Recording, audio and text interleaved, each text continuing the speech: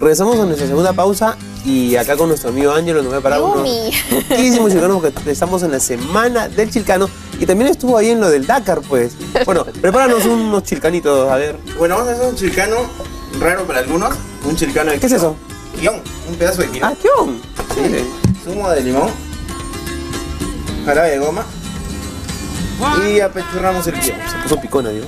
O sea, aparte del chilcano tradicional que es pisco, ginger ale, limón y jarabe, están utilizando ahora otras frutas y demás cosas, ya, ya que el pisco se puede combinar con todo.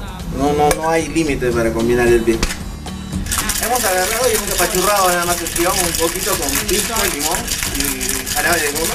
Me imagino que va a quedar medio picantito, ¿no? Porque el guion es así. Es un toque picante. Lo que se hace es se trata de, de pa- apachurrar poco. ¿Ya? Tomen, tomen nota, ¿ah? porque si tú quieres innovar ahí, lu- lucirte con los amigos en una reunión, tienes los secretos de Ángelo. aquí es muy bueno. Es algo raro, ¿no? Guión en un cóctel, pero es muy, muy exquisito. Ya tenemos Y nuestro para refrescar, ah, está. ginger. Yo puedo decir que es el trago que más me gusta. Vamos a hacer el siguiente. Es un chilcano de albahaca con maracuyá. Algo raro, estamos ahí innovando.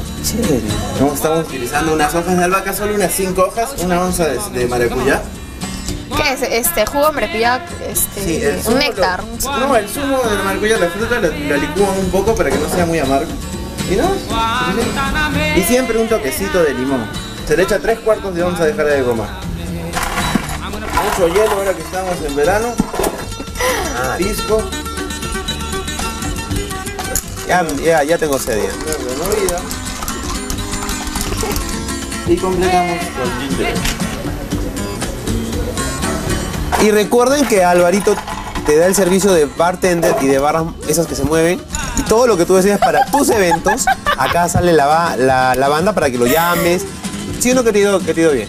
Sí, Estamos que contentos, contentos. Matrimonios, quinceañeros, hacemos el servicio de barras móviles para todo tipo de eventos. Y bueno, Este, perdón, ¿qué era? Es aguaymanto, es jarabe de goma, 3 cuartos de onza. Zumo de limón siempre. Mira, parece un degradé, ¿no? No, a mí me encanta, me encanta. Lo que faltó a todos. Y el último toque. La amargo de dulzura que es solo para aromatizar.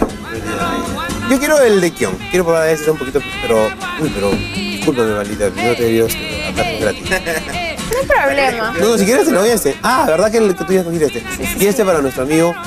Sí está presente. ¿Dónde está? Sí está presente. La gente dice, ¿dónde está? Osito, me digo, Está José Luis.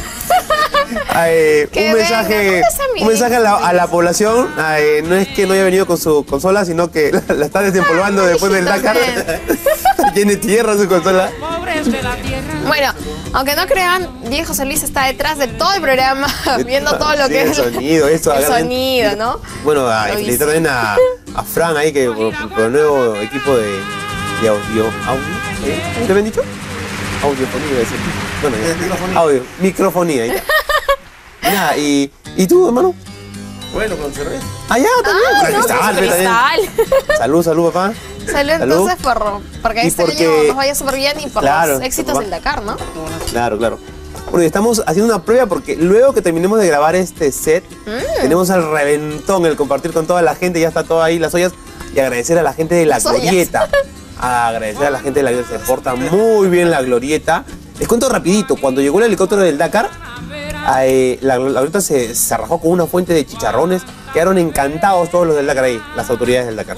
La glorieta siempre, siempre presente en la glorieta en todos los eventos. Ahora sí te cuento que nos vamos con Patty, porque viene con todos los secretos de finanzas para empresas, para tú, tú que eres microempresario, que eres ama de casa y quieres ahorrar y quieres manejar bien tu economía, viene Patty. Así que ya regresamos. José Martí. Hola amigos de Habla TV, una vez más bienvenidos, estoy contenta de estar con ustedes. Bueno, y el día de hoy vamos a hablar de algo muy puntual. ¿A dónde se va el dinero? ¿Sí? Y lo que te quiero preguntar es, no sé si te ha pasado alguna vez que tienes 100 soles, sales a la calle y bueno, dices, no, no los quiero cambiar porque los voy a gastar. y no sé en qué los voy a gastar, así que mejor no los cambio ni los toco. Estamos como el de la propaganda que no quiere cambiar para no tener sencillo y después se desaparece el dinero. ¿Y qué pasa? Que una vez que lo cambias, desapareció, se sumó, se fue. Bueno, lo que yo te vengo a preguntar ahora es, ¿a dónde se va ese dinero? Vamos a hacer un ejercicio muy simple. ¿Recuerdas lo del 10%? Ok, eso es de las semanas anteriores.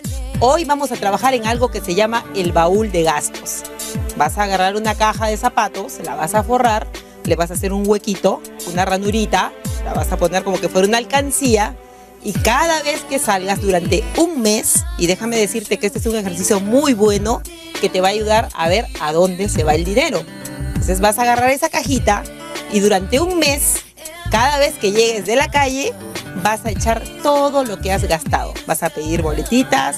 Si no te dan boletitas, el ejemplo, si tomas una combi, pues en un papelito, cuánto te salió la combi, y por ahí te vas a dar cuenta por dónde se está yendo el dinero.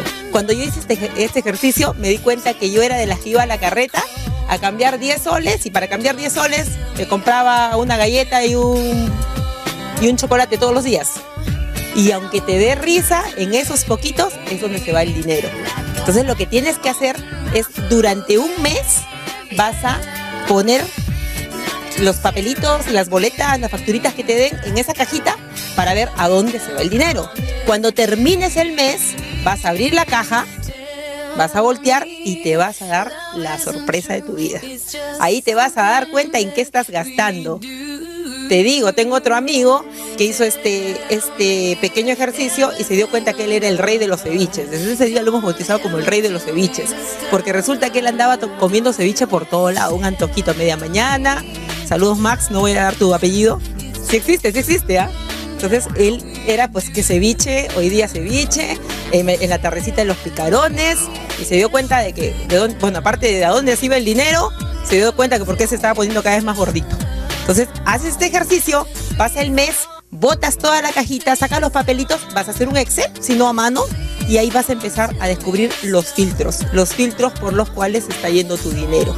Después, la semana que viene, Dios mediante, te voy a dar un consejito para que después de ese mes podamos aprovechar este ejercicio junto al del 10% que ya hemos, debemos de haber empezado a hacer.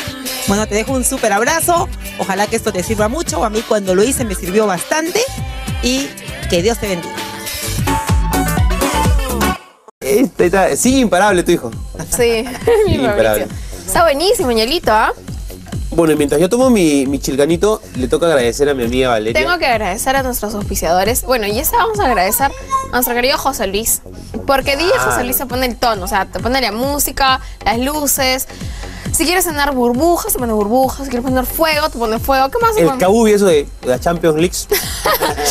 Con efectos este, tridimensionales, ya. Todo, tiene cabezas Todo. móviles, tiene todo José Luis. Hasta. Esas que se mueven. DJ José Luis. DJ José Luis. DJ José Luis. Agradecer a Ángelo por. Angelita, por supuesto. Con sus barras esas que se mueven.